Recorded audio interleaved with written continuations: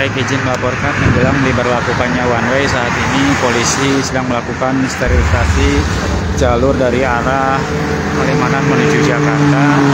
Pihak kepolisian sudah melakukan sterilisasi dan saat ini kondisi jalur dari arah Palimanan menuju ke Jakarta sudah nihil dari kendaraan terlihat polis satu buah kendaraan polisi juga sudah terpasang melintang di tengah jalan untuk antisipasi takut-takutnya masih ada kendaraan yang belum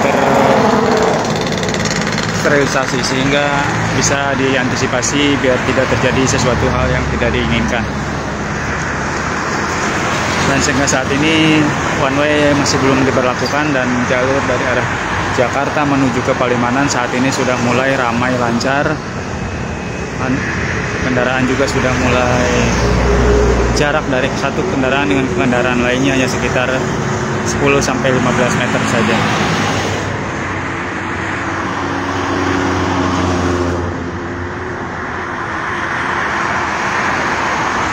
Saat ini kondisi cuaca juga di kawasan Subang khususnya sudah mulai sedikit agak mendung namun tidak belum turun hujan sehingga cuacanya sangat mendukung untuk perjalanan mudik dan saat ini.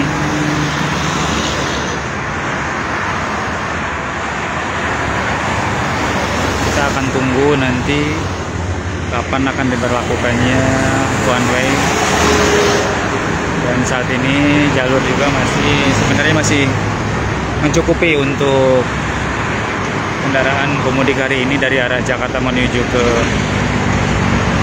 Palimanan. Tidak terjadi kemacetan namun kecepatan kendaraan kalau bisa dilihat hanya sekitar 50 sampai 70 km per jam.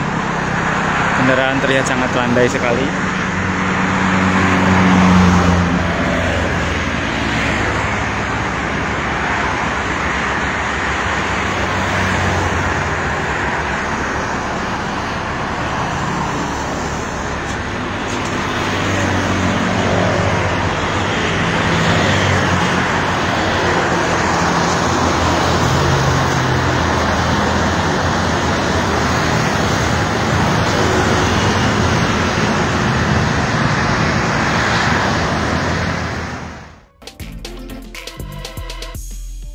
Jangan lupa like, subscribe, dan share ya.